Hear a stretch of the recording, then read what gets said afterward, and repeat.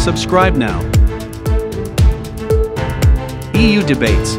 Simply to, to put it into, uh, uh, so say, respective, uh, this uh, 7.5 is uh, more than, um, for instance, the, the possible allocation from the RRP uh, fund. So it's not nothing. Second, referring to the Court of Justice uh, ruling, we have to be we, ha- um, uh, we have to apply proportionality and adequacy.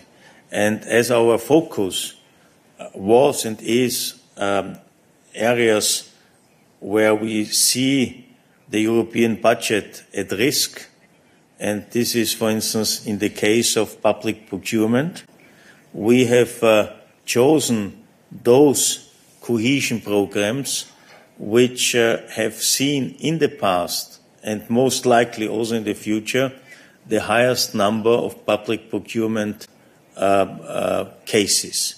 So, on average, I think uh, 95% of um, the entire spending within these programs will be public procurement. And this is why we have chosen these programs and we have finally taken the decision to, to recommend um, as so say possible measures to the Council to suspend 65% of this overall allocation of these uh, three um, uh, uh, programs.